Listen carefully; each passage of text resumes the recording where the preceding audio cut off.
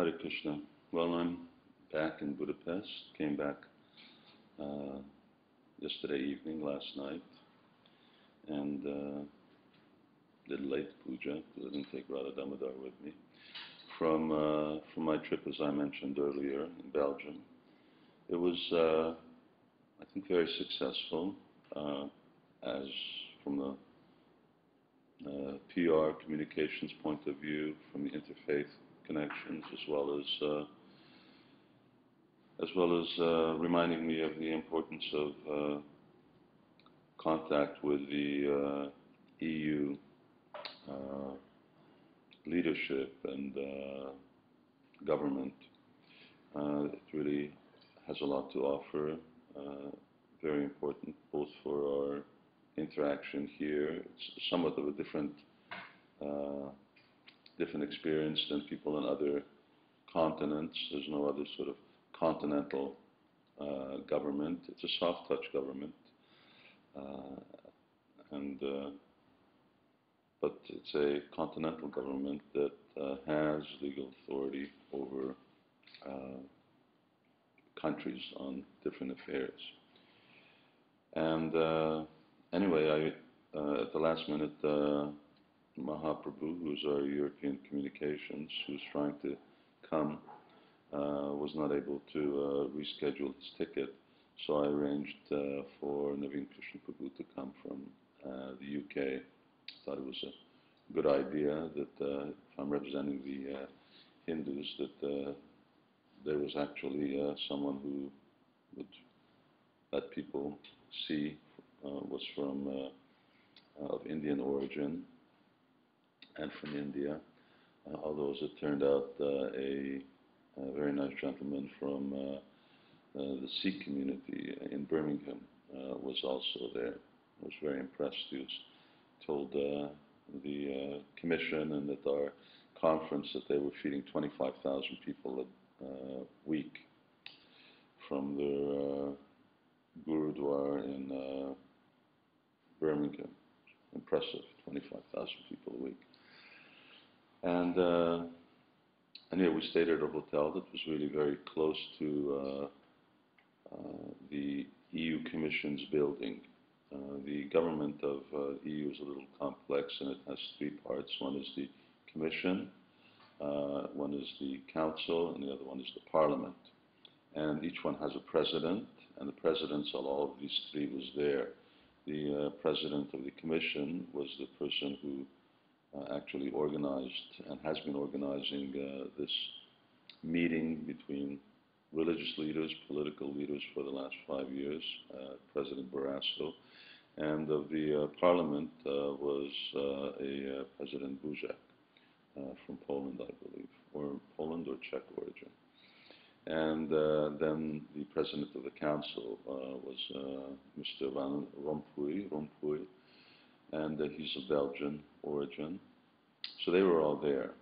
Anyway, uh, my I was very curious uh, not only about how the uh, politicians would react to us. After all, they invited us, so I would expect that they would be very favor- or they would be favorably inclined.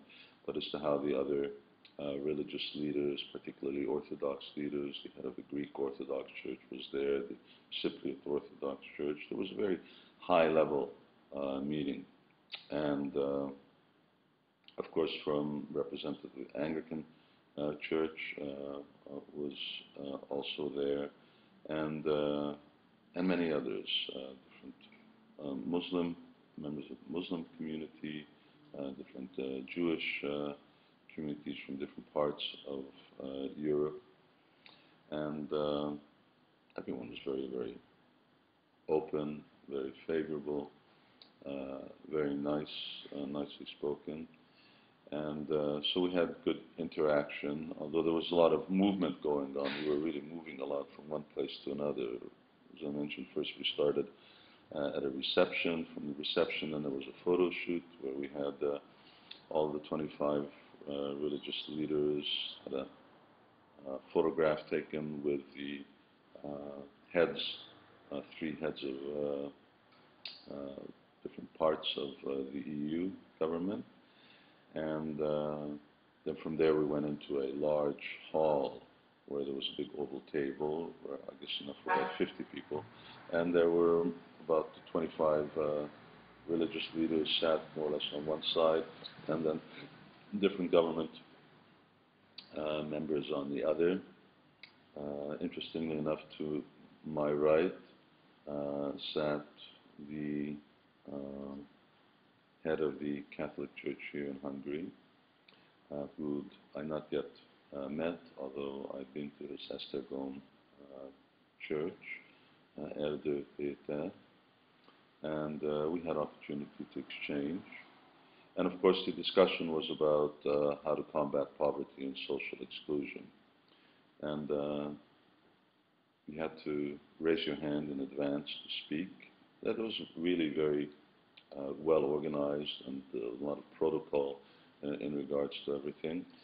So I, I had the opportunity to uh, speak at the commission, and I spoke about uh, the fact that even if we want to eradicate poverty and the figures are quite staggering 80 million people, which is a lot. Uh, 80 million people in Europe who are living uh, at or below the poverty line. And uh, my point was that uh, it's a matter of supply and demand. If the demand is going to be that we want everyone to live at the same lifestyle as uh, the average German or Frenchman, we don't have the supply. Europe cannot supply that. Not if we're going to be trying to bring people to a standard of supply uh, that is based on our modern competitive consumer society. Uh, but if we simplify uh, the demand and if we just uh, bring it down to the necessities of life, that people directly work for the food that they eat, uh, then that could certainly, Europe can certainly provide and remove these sources of poverty. People need not be hungry, need not be without shelter, need not be without work. And they can have great integrity in their work because their work will directly be connected to the food that they eat, so they can see the results of their work. And so my uh, recommendation was that the EU support and fund uh, religious-centered, God-centered, spiritual communities of uh, which are self-sufficient and based on uh, principles of sustainability. Um, and I gave Krishna Valley as the example, which was the Hindus' uh, model of sustainable, simple lifestyle, and also gave some of the statistics, how our ecological footprint is below the global average, uh, is below the way, way, way below the European average. Uh, and, uh, and is sustainable because what's sustainable is 1.8 hectares per person, and in New Vrajadham we have 1.5. So the globe can sustain at the present uh, the number of people that are living in it uh, at that standard, 1.8 hectares uh, per person, and you can live very, very comfortably like that.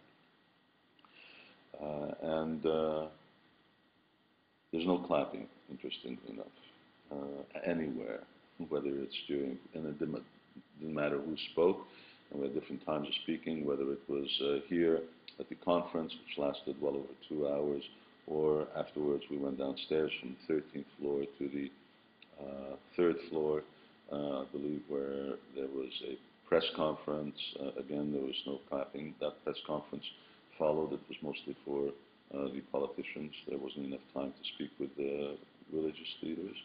And then we went back up again for lunch. And during all of this movement, I had opportunity to speak with uh, President Buzek. I gave him brochure of Krishna Valley and what and I would actually written up on the uh, solutions uh, to the problems that uh, the EU had posed the government had posed. And uh, I had opportunity to exchange actually three times with President Barroso. Uh, he was very nice. He was very interested, uh, very proactive uh, into